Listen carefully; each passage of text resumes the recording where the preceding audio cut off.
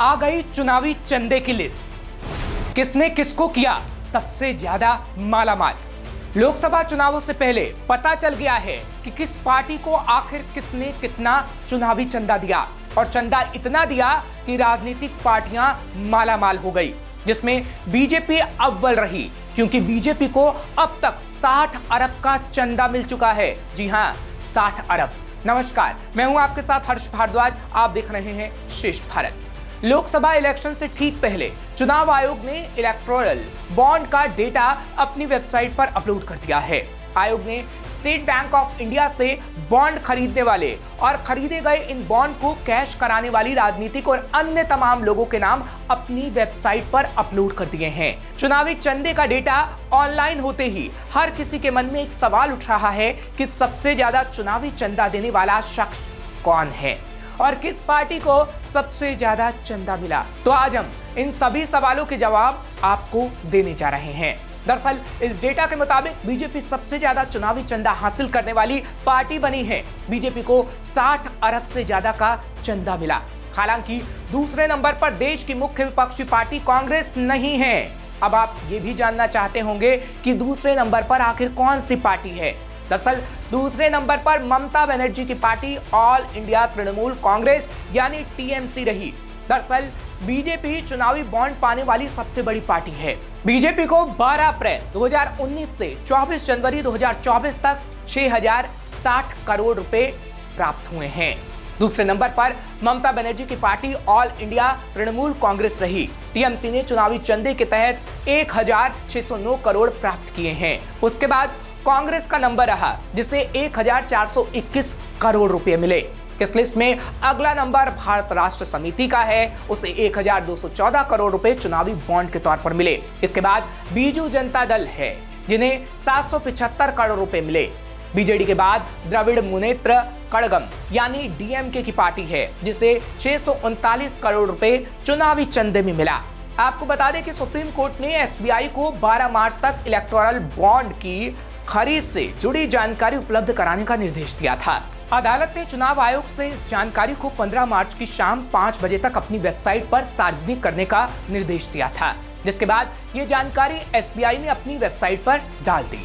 फ़िलहाल चुनावी चंदा चर्चा में है, क्योंकि साल 2018 में केंद्र सरकार इस पॉलिसी को चुनाव में पारदर्शिता लाने के लिए संसद में लेकर आई थी, लेकिन उसके बाद जिन दानदाताओं ने पॉलिटिकल पार्टी को बॉन्ड खरीद कर चंदा दिया और इसमें सबसे ज़्यादा चंदा बीजेपी को मिला। इसलिए पूरे मामले में बीजेपी पर सवाल उठ रहे हैं। बीजेपी पर यह कहकर निशाना साधा जा रहा है कि इस पॉलिसी से सबसे ज़्यादा उसी को फ़ायदा हुआ। खैर, क्या वाकई ऐसा हुआ है या नहीं, हम आपको ज़रूर बताएँगे। लेकिन उससे पहले आपको बता देते हैं कि चुनावी चंदा देने वाला आखिर कौन है और किसने पार्टियों को चुनावी चंदा दिया। फ्यूचर गेमिंग और होटल सर्विसेज़ ने एक हज़ार तीन सौ अड़सठ करोड़ रुपए दिए। Megha Engineering and Infrastructure Limited ने नौ करोड़ रुपए दिए। Quick Supply Chain Private Limited ने 410 करोड़ रुपए दिए। वेदांता लिमिटेड ने 400 करोड़ रुपए दिए। हल्दिया एनर्जी लिमिटेड ने 377 करोड़ रुपए दिए। भारतीय ग्रुप ने दो सौ सैंतालीस करोड़ रुपए SL Mining and Industry Limited ने 224 करोड़ रुपए Western UP Power Transmission 220 crore रुपए दे चुका है। Keventer Food Park Infra Limited एक करोड़ रुपए दान में दे चुका है। मदन लाल लिमिटेड ने एक करोड़ रुपए डीएलएफ ग्रुप ने 170 करोड़ रुपए, यशोदा सुपर स्पेशलिटी हॉस्पिटल ने एक सौ बासठ करोड़ रुपए उत्कल एल्यूमिनिया। इंटरनेशनल ने 145 करोड़ तीन लाख रुपए। Jindal Steel and Power Limited ने 123 करोड़ रुपए। बिरला कार्बन इंडिया ने 105 करोड़ रुपए, जबकि रुंगटा सन्स ने 100 करोड़ रुपए दिए। डॉक्टर रेड्डीज ने 80 करोड़ रुपए, पिरामल इंटरप्राइजेस ग्रुप ने 60 करोड़ रुपए, नवयुग इंजीनियरिंग ने 55 करोड़ रुपए, श्रीडी साई इलेक्ट्रिकल्स ने 40 करोड़ रुपए एडल वाइस ग्रुप ने 40 करोड़ रुपए, सिप्ला लिमिटेड ने उनतालीस करोड़ दो लाख रुपए, लक्ष्मी निवास मित्तल ने 35 करोड़ रुपए और इसी तरह ग्रासीन इंडस्ट्री ने 33 करोड़ रुपए चंदा दिया।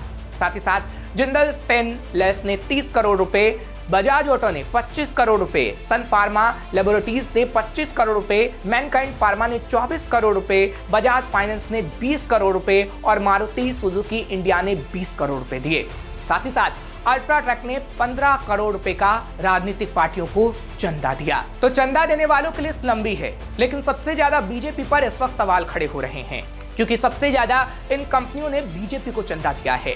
चुनाव आयोग की जानकारी जारी करने के बाद वरिष्ठ अधिवक्ता प्रशांत भूषण ने चुनावी बॉन्ड खरीदने वाली दूसरे नंबर पर रहे Megha Engineering and Infrastructure Limited को लेकर सवाल खड़े किए। प्रशांत भूषण ने ट्वीट में कहा कि 11 अप्रैल 2023 को मेगा इंजीनियरिंग ने 100 करोड़ रुपए के इलेक्टोरल बॉन्ड किसको दिए? लेकिन एक महीने के अंदर ही उसे बीजेपी की महाराष्ट्र सरकार से चौदह करोड़ रुपए का कॉन्ट्रैक्ट मिल जाता है, जो बड़े सवाल खड़े करता है। सवाल ये भी उठ रहे हैं कि संसदीय प्रक्रिया के तहत जो कानूनी व्यवस्था बनाई गई, क्या उसकी कोई संवैधानिक पवित्रता नहीं है? क्योंकि पूर्व के चंदा देने वाले संप्रभु कानून गारंटी के आधार पर काम कर रहे थे। इसके पीछे सरकार का मकसद चुनाव में काले धन को रोकना था। सरकार का मकसद ये था कि चुनाव में नकदी के फ्लो को रोका जाए और चंदे को वैधता प्रदान की जाए। पूर्व वित्त मंत्री अरुण जेटली ने भी कहा था कि बॉन्ड पॉलिसी का मकसद चुनाव में पारदर्शिता लाना है। खैर, पूरे मामले में बीजेपी सवालों के घेरे में है। विपक्षी दलों का आरोप है कि बीजेपी को इस बॉन्ड से सबसे ज़्यादा फ़ायदा हुआ। एडीआर यानी एसोसिएशन फॉर डेमोक्रेटिक रिफॉर्म्स ने भी अपने रिसर्च में जो आंकड़ा पेश किया था, उसके मुताबिक भारतीय जनता पार्टी को सबसे ज़्यादा पॉलिटिकल डोनेशन मिला। यह आंकड़ा कांग्रेस को मिले दान से कहीं ज़्यादा है। फ़िलहाल इस पर बीजेपी का कहना है कि बीजेपी को सबसे ज़्यादा चंदा मिलने की एक वजह यह भी है कि देश के करीब अट्ठावन फ़ीसदी हिस्से पर भारतीय जनता पार्टी का शासन है, जबकि इकतालीस फ़ीसदी हिस्से में गैर बीजेपी का शासन है। अट्ठावन फ़ीसदी के उन हिस्सों में, जहाँ बीजेपी सत्ता में है, वहाँ देश की सत्तावन फ़ीसदी आबादी रहती है, जबकि गैर बीजेपी हिस्सों में देश की तैरालीस फ़ीसदी आबादी रहती है। इस आधार पर भी बीजेपी का मानना है कि अगर देश के सबसे बड़े हिस्से में उसकी सत्ता है तो उसे सबसे ज़्यादा चुनावी चंदा मिलना लाजमी है। फ़िलहाल, जब से चुनावी चंदे की लिस्ट सामने आई है, तब से राजनीतिक पार्टियों पर सवाल खड़े हो रहे हैं, जिसका जवाब देने से अभी फ़िलहाल पार्टियाँ बच रही हैं। लेकिन कहते हैं ना, सच कभी ना कभी तो सामने आ ही जाता है। और सच यही है जो हम आपको बता रहे हैं, क्योंकि शेष भारत सच बताता है और बताता रहेगा। फ़िलहाल, ऐसी और खबरों के लिए आप देखते रहिए श्रेष्ठ भारत। श्रेष्ठ भारत पर खबरों से जुड़े रहने के लिए चैनल को सब्सक्राइब करें, बेल आइकन दबाएँ और देखते रहें श्रेष्ठ भारत।